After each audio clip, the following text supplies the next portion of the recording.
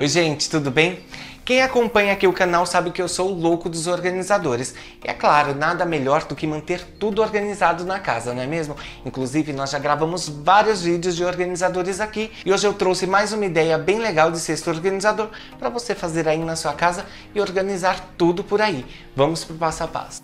E para fazer o nosso cesto organizador, vamos usar cordão de algodão de 8 milímetros. Comece enrolando a ponta do cordão para formar um círculo.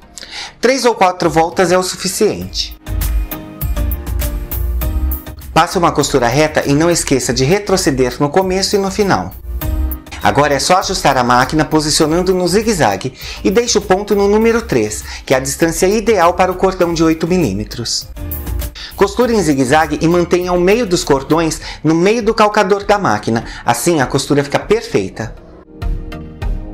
Estou fazendo o fundo do cesto e para isso vou fazer 18 voltas.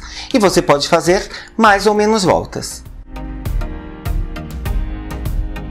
Ah, e lembre sempre de manter o carretel de cordão do seu lado direito. Isso vai facilitar na hora de fazer o corpo do cesto. Feito as 18 voltas, é hora de virar. É bem fácil. Coloque o círculo na vertical sem tirar do calcador e continue a costura nessa posição até o final.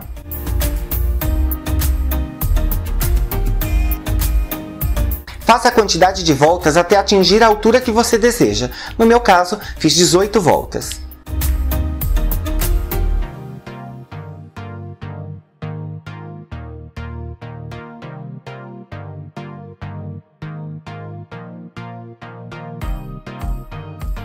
Corte o cordão e dobre por cima e passe uma costura reta.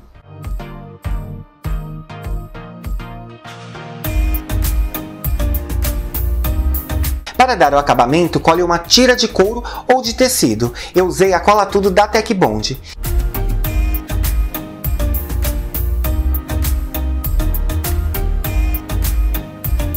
E para dar um charme na peça, coloquei um rebite de metal.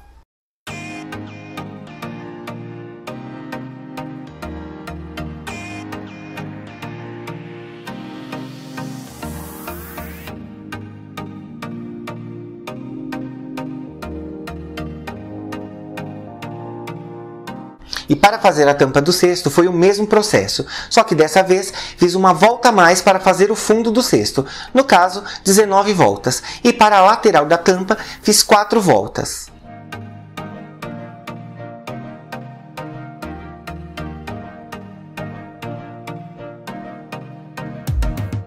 Finalizei com couro e o rebite de metal.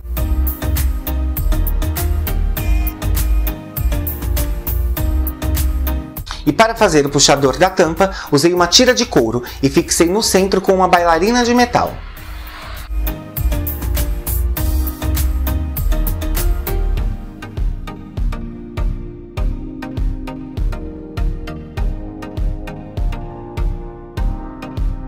Prontinho, gente, o resultado é esse. Eu fiz aqui, olha, quatro cestos e é claro, dá para você fazer maior, menor, dá para fazer redondo, dá para fazer oval. Olha, eu fiz esse daqui oval também dá super certo. E o mais legal dele ser costurado é que depois você consegue lavar, higienizar e se você quiser endurecer também para ele ficar bem mais firme, embora ele fique bem firme, você pode aplicar cola branca ou até mesmo endurecedor de tecido que você encontra em lojas de materiais. E se você não costura, não tem máquina de costura, não precisa ficar apavorada. Dá para você usar cola também para fazer isso daqui. A gente já mostrou aqui como faz com cola. E você pode usar também a cola quente ou a cola T6000, que também não sai com a água. É só usar a criatividade aí, que eu tenho certeza que vocês vão fazer um cesto bem legal também. Eu gostei bastante do resultado e agora vamos saber a opinião do Beto.